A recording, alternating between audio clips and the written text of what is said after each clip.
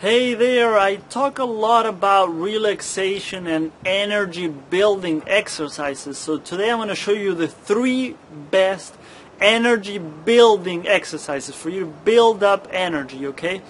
These are the three that I like the most, that I enjoy the most, that I do the most. So, in my opinion, they're, they're the most powerful ones, but there, there's definitely a lot more things you can do. I just want to offer three different uh, options for you, okay? So hopefully you can hear. I'm gonna go back a little bit so you can see my full body. The first one is called the breathing squat. Okay, so what you do, you want to have the feet about just in a regular position, so a regular angle. They don't want you don't need to have them straight forward or too far out. So ideally, they kind of just follow your natural stance with your feet a little bit wider than shoulder width apart. And the form doesn't need to be perfect for this, so don't worry about the form as much, alright? All you do is you can have your hands together here, interlock your fingers, I like to do this. You breathe out as you go down, and you breathe in as you come up. You see if that's better there. You breathe out, and you breathe in.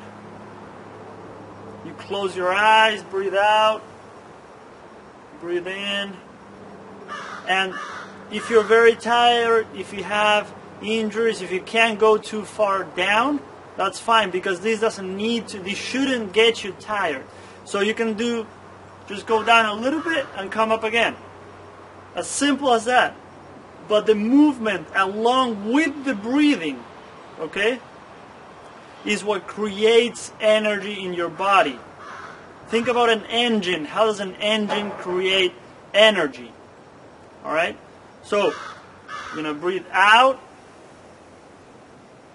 Breathe in. Stay nice and tall. I'll see if I can do it from the side. It's, it's all uneven here, but I'll try my best. So you're going to breathe out. And breathe in. Try to stay upright. Breathe out. Close your eyes. And breathe in. Try not to round forward. Try to stay upright if you can, as much as you can. Like I said, if, if you can only go this far and up again, that's fine. It's all about finding your level. You can adapt this to any level, okay? but it's about building that energy. I guarantee that if you do that for five minutes, just slow, slow breathing up and down, you will feel better after it, okay? Number two, it's called the energy push. Okay? All you're going to do, imagine you're holding a ball, for example, and you're going to push it out. So you're pushing energy out as you breathe out. And you breathe in. And you bring it in. Breathe out. Close your eyes. And you breathe in as you come back in. Remember to do the belly breathing, okay? Belly breathing. The air goes into your belly. Diaphragmatic breathing, alright? Talk about that in other videos. So the first two thirds of your breath should go into the belly, last third can go into the chest, alright? Don't lock the knees for this one, feet wide again, alright? So you don't need to lock the knees. And that's all you do. You breathe in, As you come in, breathe out as you push the energy out. And I love this one, believe me, doing this for five minutes, you'll feel great, all right? And you can play around with it. It doesn't need to be perfect like that. You can push out to the side and come back in and push out to the side. All right? Think positively. Think about something you like while you're doing this, all right? Think about someone you love, your kids, your spouse, anyone. Think about a place you love, the beach, a lake, a river. Think about something positive. Smile while you do this. And I guarantee that you'll feel so much better after you do it. Okay? Number three, and that, that goes for all, all three of them, okay? Thinking positively, smiling, thinking about things that you love. Number three, is the Tai Chi circles, okay?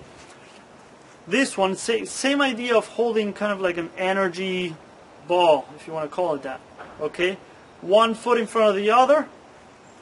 You're going to breathe in as you come up and back, and you're drawing a circle. And breathe out as you go front, down and forward. Okay, this one I'll show you from the side, it's probably easier to see. You're going to breathe out as you push down and out. Then when you get to this point, chest level, about that level, breathe in. Okay, breathe out. And breathe in. Like I said, form doesn't need to be perfect. Alright? The feet can go there, out,